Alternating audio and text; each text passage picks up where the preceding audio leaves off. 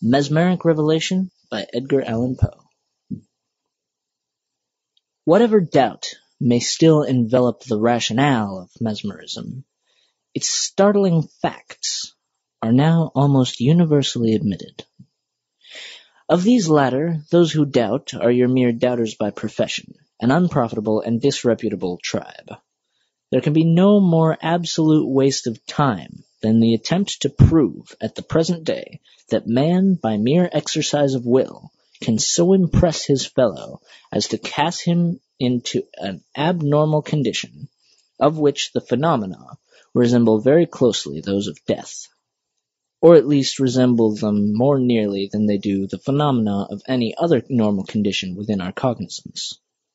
That while in this state the person so impressed employs only with effort and then feebly the external organs of sense, yet perceives with keenly refined perception, and through channels supposed unknown, matters beyond the scope of the physical organs, that moreover his intellectual faculties are wonderfully exalted and invigorated, that his sympathies with the person so impressing him are profound, and finally that his susceptibility to the impression increases with its frequency, while in the same proportion the peculiar phenomena elicited are more extended and more pronounced. I say that these, which are the laws of mesmerism in its general features, it would be supererogation to demonstrate, nor shall I inflict upon my readers so needless a demonstration today. My purpose at the present is a very different one indeed. I am impelled even in the teeth of a world of prejudice to detail without comment the very remarkable substance of a colloquy occurring between a sleep-waker and myself. I had been long in the habit of mesmerizing the person in question, a Mr. Van Kirk. The usual acute susceptibility and exaltation of the mesmeric perception had supervened. For many months he had been laboring under confirmed phthisis, the more distressing effects of which had been relieved by my manipulations; and on the night of Wednesday, the fifteenth instant, I was summoned to his bedside. The invalid was suffering with acute pain in the region of the heart, and breathed with great difficulty, having all the ordinary symptoms of asthma. In spasms such as these he had usually found relief from the application of mustard to the nervous centres, but to-night this had been attempted in vain. As I entered his room he greeted me with a cheerful smile, and although evidently in much bodily pain, appeared to be mentally quite at ease. "I sent for you to-night," he said, "not so much to administer to my bodily ailment as to satisfy me concerning certain psychical impressions which of late have occasioned me much anxiety and surprise. I need not tell you how sceptical I have hitherto been on the subject of the soul's immortality. I cannot deny that there has always existed, if in that very soul which I have been denying, a vague half-sentiment of its own existence. But this half-sentiment at no time amounted to conviction, and with it my reason had nothing to do. All attempts at logical inquiry resulted indeed in leaving me more sceptical than before. I had been advised to study Cousin. I studied him in his own works as well as in those of his European and American echoes.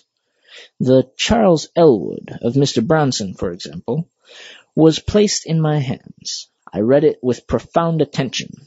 Throughout it I found it logical, but the portions which were not merely logical were unhappily the initial arguments of the disbelieving hero of the book.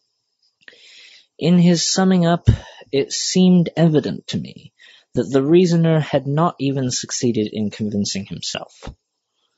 His end had plainly forgotten his beginning, like the government of Trinculo. In short, I was not long in perceiving that if man is to be intellectually convinced of his own immortality, he will never be so convinced by the mere abstractions which have been so long the fashion of the moralists of England, of France, and of Germany. Abstractions may amuse and exercise, but take no hold of the mind. Here upon earth, at least, Philosophy, I am persuaded, will always in vain call upon us to look upon qualities as things. The will may assent, the soul, the intellect, never. I repeat, then, that I only half felt, and never intellectually believed. But latterly there has been a certain deepening of the feeling, until it has come so nearly to resemble the acquiescence of reason, that I find it difficult to distinguish between the two. I am enabled, too, plainly, to trace this effect to the mesmeric influence. I cannot better explain my meaning than by hypothesis that the mesmeric exaltation enables me to perceive a train of ratiocination, which, in my abnormal existence, convinces, but which in full accordance with the mesmeric phenomena, does not extend, except through its effect, into my normal condition. In sleep-waking, the reasoning and its conclusion, the cause and its effect, are present altogether. In my natural state, the cause vanishing, and the effect only, and perhaps only partially, remains. These considerations have led me to think that some good results might ensue from a series of well-directed questions propounded to me while mesmerized. You have often observed the profound self-cognizance evinced by the sleep-waker, the extensive knowledge he displays upon all points relating to the mesmeric condition itself, and from this self-cognizance may be deduced hints for the proper conduct of a catechism. I consented, of course, to make this experiment. A few passes threw Mr. Van Kirk into a mesmeric sleep. His breathing became immediately more easy, and he seemed to suffer no physical uneasiness. The following conversation then ensued. V in the dialogue representing the patient, and P myself. Are you asleep? Yes. No, I would rather sleep more soundly.